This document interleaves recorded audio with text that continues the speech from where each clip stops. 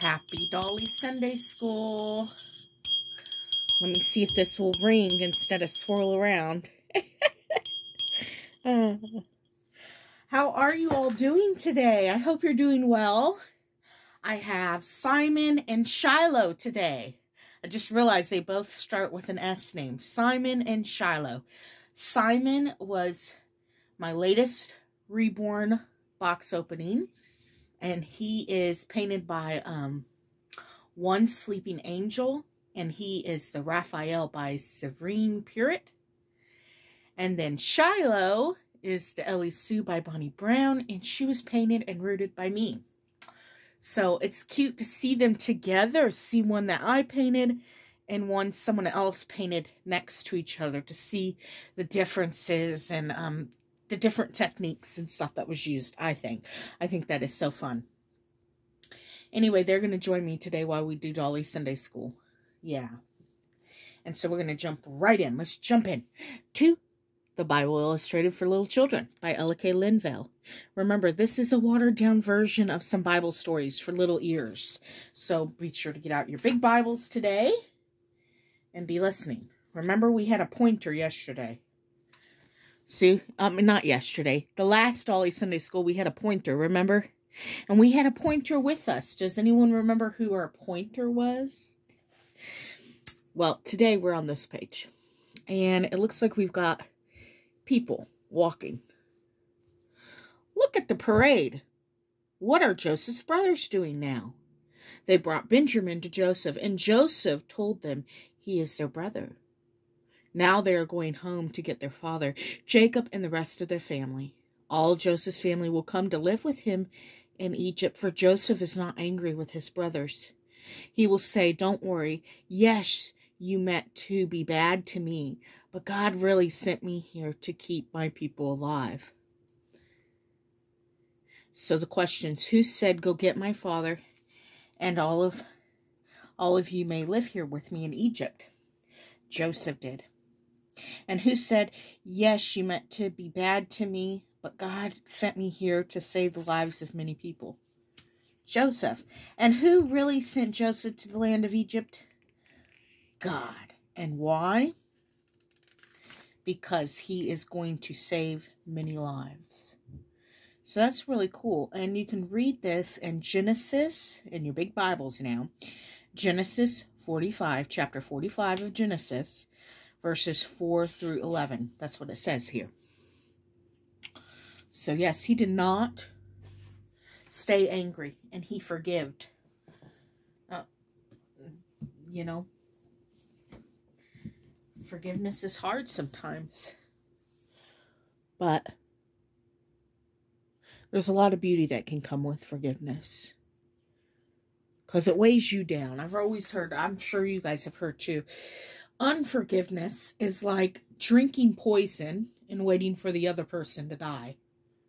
Forgiving someone doesn't mean that you excuse them for what they have done to you. It doesn't make what they did right. It doesn't mean you're just a pushover or a doormat. It means that you're saying, I forgive you so that I can heal and move on. So you're no longer a prisoner to the things that they had done to you and that's hard, especially trauma, child, childhood trauma. It is hard, ladies. It is hard. I had to work on it for many years. But when you come to that place of forgiveness and realize it's for yourself, not so much the other person.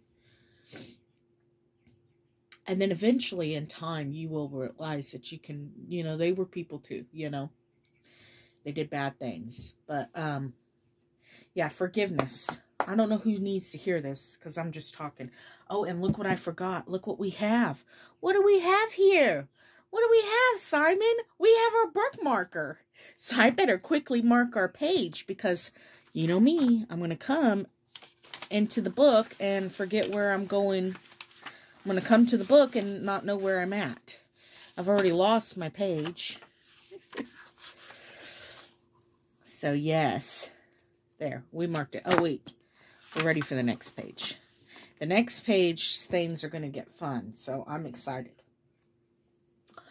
um, we're kind of studying a little bit about, we studied a little bit because we did, a, we're reading, my husband and I are studying Exodus. Is anyone still doing the Bible challenge that I gave? I don't know if anyone's following along with me, but the Bible challenge um, that I put out for y'all is to read a chapter a day. So read one chapter of your Bible each day. And we're doing it in the evenings, right before bed. I read to my husband. He loves it. He always loved being read to growing up.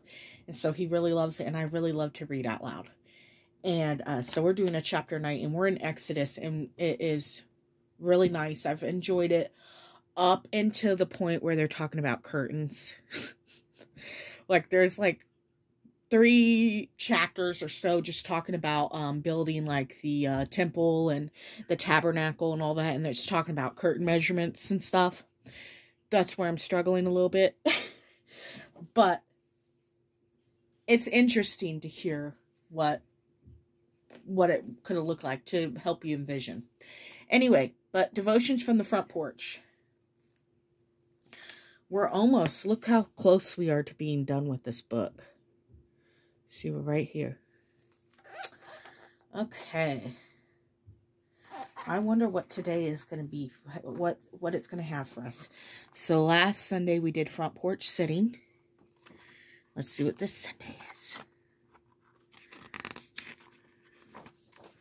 Oh, there's a break in the book. So it's just a really pretty picture of a porch. That looks nice. They even got, I thought that was such a um, rich thing when I was a child.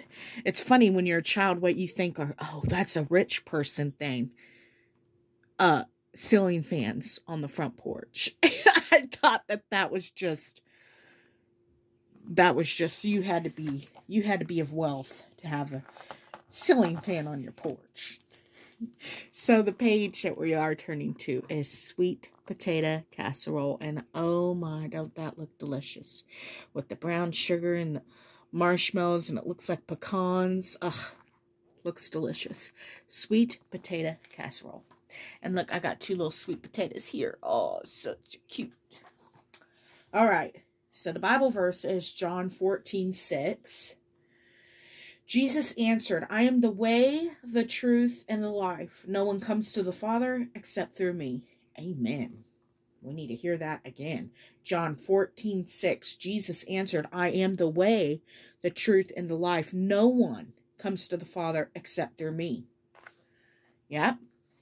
Um, you don't come through the Father because you did good works or you were a good person or uh, you were a bad person. You don't go, I mean, you don't go by how many times you pray or because you fasted or didn't fast. You only get to the Father. You only get to heaven through Jesus. That's it, folks. That's why it's grace. That's why it's a gift. There is nothing you can do to get yourself there. It's Jesus. The acceptance of Jesus. And that acceptance of Him will make you want to live a righteous, good life. You're not gonna it's not gonna be perfect. It's still gonna be hard. But oh, is it sweeter with him. Okay, let's get into our devotion because I'm I'm rambling now. I'm getting off on my preaching now. there are two schools of thought when it comes to making sweet potato casserole. The crunchy pecan and brown sugar topping or the gooey marshmallow topping. You might think it doesn't really matter, but you'd be wrong. People in the South take their sweet potato casserole very seriously. But we can all agree on one thing. One doesn't make sweet potato casserole with yams from a can. Miss Sue is the oldest lady in a little church in South Alabama. She has a lot to say about a lot of things, and one of those things is sweet potato casserole. There's only one way to make it, according to Miss Sue, and it involves work. The sweet potatoes must be chosen carefully, peeled, cooked, and mashed. There are no shortcuts or cans involved. Why? Miss Sue would ask. Do people think there's an easier way? Isn't that the way with so many things? We want an easier way. We want the reward without the work.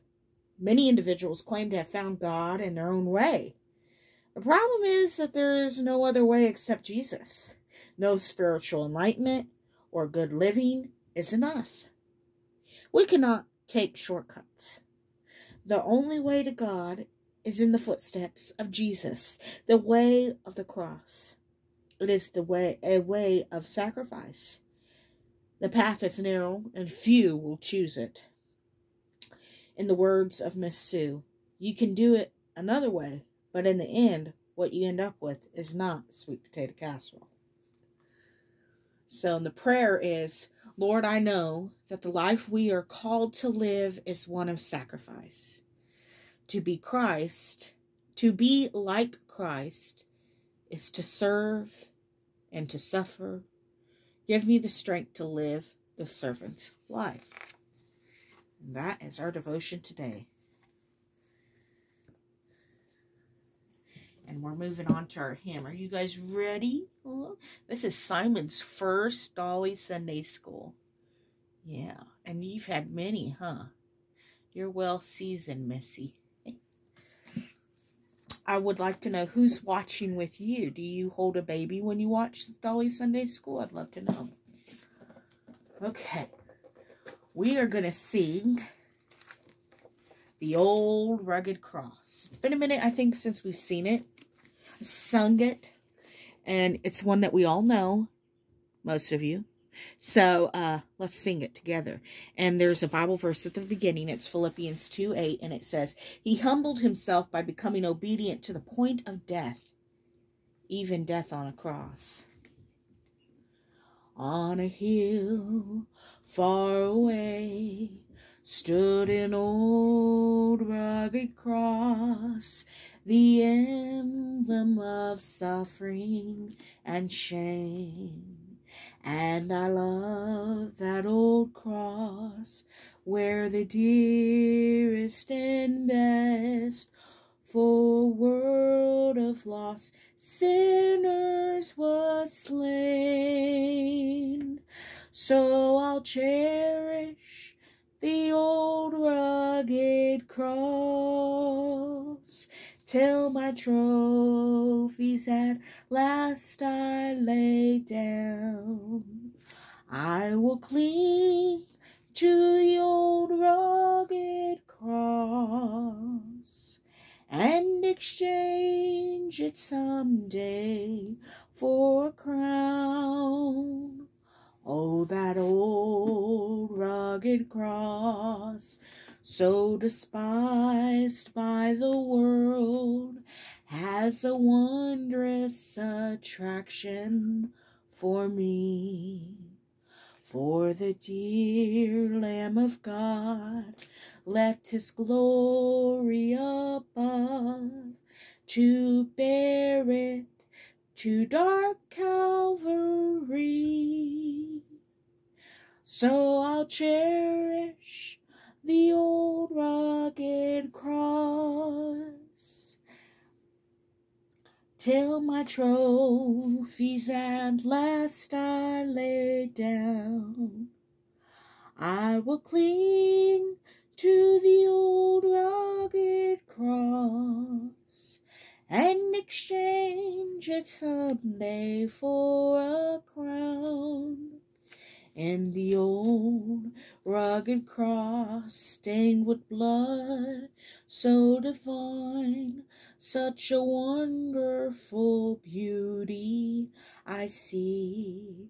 For 'twas on that old cross Jesus suffered and died to pardon and sanctify me to the old rugged cross I will ever be true. Its shame and reproach gladly bear. Then he'll call me someday to my home far away, where his glory forever I'll share. So I'll cherish the old rugged cross till my trophies at last I lay down. I will cling to the old rugged cross and exchange it someday for a crown. All right, I sang the whole song this time. so, I'm sure you've had enough of that. Did you sing along with me? I'd love to know. Well, that's the end of Dolly Sunday School. But if you have any prayer requests, please comment down below. I'd love to pray for you. If you have any praises, any good news, or answered prayers that you would love to share, um, we'd love to praise with you too.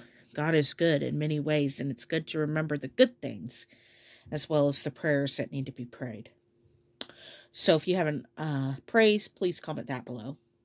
If you have an unspoken prayer request, maybe you don't know what to pray, or there's someone in need of prayer that you know of that, and you don't know all the details. Or maybe you just don't want everyone in your business, but you want some prayers. Put a little bunny in the comment section. You can either put the bunny emoji or just type out the word bunny, okay? And we'll know that you have an unspoken prayer request. If you have nothing to add into the comment section, just pop down below and say hello and come back throughout the week to see who we could be praying for down in the comment section. Become about like a Wednesday, Thursday, and see who in Dolly Sunday School is asking for prayer so we can all join together and provide prayers. Um, thank you so much for watching. I hope you all have a wonderful day. I know my videos are taking forever to upload. So even though I'm uploading um, in the middle of the day, it takes forever. Maybe by night or by early morning do you see it. So I don't know what's up with that. Hopefully it uploads quickly. Hopefully I'm wrong and it will upload soon. But I hope you enjoyed seeing Simon and Shiloh. And we will talk to you all later. God bless you. Bye bye now.